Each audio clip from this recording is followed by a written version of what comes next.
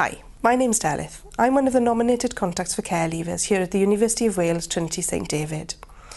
As part of our ongoing commitment to Buttle UK, we offer a wide range of services to students entering the university from a care background. The support we can offer includes advice and guidance on student loans and funding, helping you to identify the funding that's available to you. We can liaise with your leaving care team to identify any additional sources of funding that may be available from your local authority to help with residential and tuition fee costs. We can offer practical help with filling in the application forms and ensuring that the funding is all in place before you begin your course. We also offer a range of scholarships and bursaries at the university, including a dedicated bursary for care leavers of up to £1,000. The others include help with accommodation costs, course materials and resources and internships. We can organise accommodation for you 52 weeks a year and we're also able to help with the costs of that.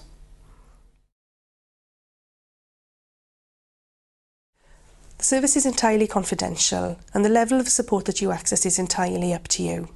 We like to meet with students initially just to have a quick chat about the support that is available and to ascertain whether or not um, you would like to access any of it.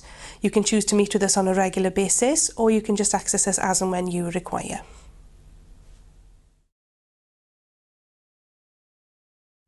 In order to access support, you can contact us directly.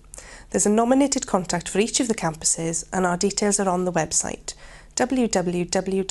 trinitysaintdavid.ac.uk. The earlier you get in touch with us, the better it is, as we can make sure that all that support is in place for you. We look forward to meeting you.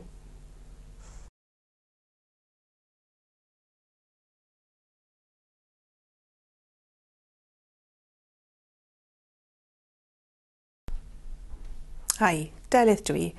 Dwi'n un o'r staff cyswll sy'n gweithio gyda myfyrwyr o gefndir gadael gofal yma ym Mhrifysgol Cymru Dryndod Dewi Sant. Fel rhan o'n ymrwymiad at Battle UK, i ni'n cynnig ystod eang o gefnogaeth i fyfyrwyr o gefndir gofal.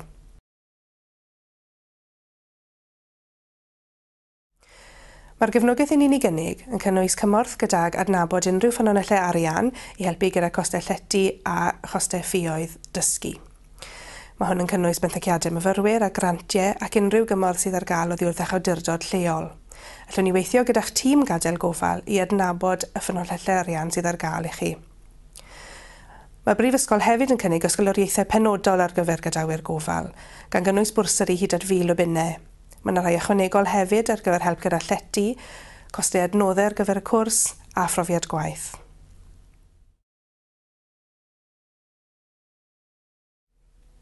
Mae'r wasanaeth yn gwbl gyfrinachol ac mae lefel y gefnogaeth hyn i chi'n ei gael yn eich dwylo chi.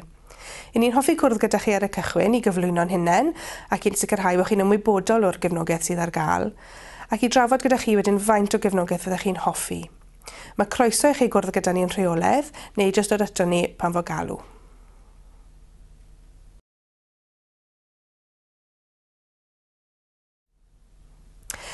Er mwyn cael cefnogaeth, mae eisiau chi gysylltu gyda ni'n uniongyrchol. Mae yna aelod y staff penodol ar gyfer bob campws ac mae manylion ni ar dudalennau gwe gwasanaethau myfyrwyr www.adrindoddewisant.ac.uk Gorau gyd gyntaf gyd, fel bod ni'n gallu sicrhau bod y gefnogaeth i gyd yn ei le cyn bod chi'n cychwyn y cwrs.